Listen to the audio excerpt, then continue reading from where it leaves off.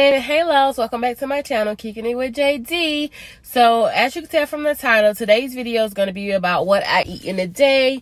Um i did some meal prepping so i thought i would bring you guys with me too so you can see what i eat in a day.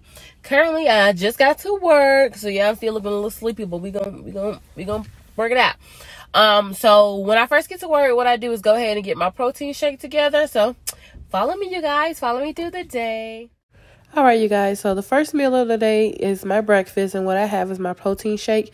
And I'm just showing you guys. I like to put my protein shake over ice. Um, and it's the Premier Protein, 30 grams of protein, and chocolate flavor.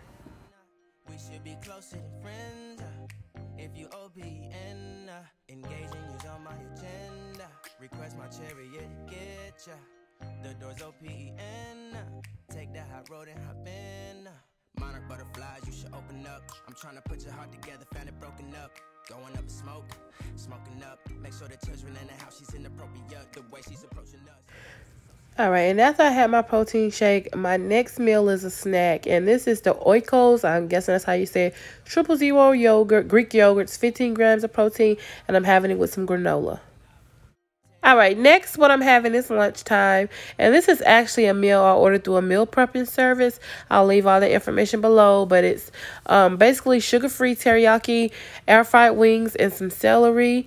Um, I ordered that, and then the next picture I'm showing you actually how much I was able to eat of that meal.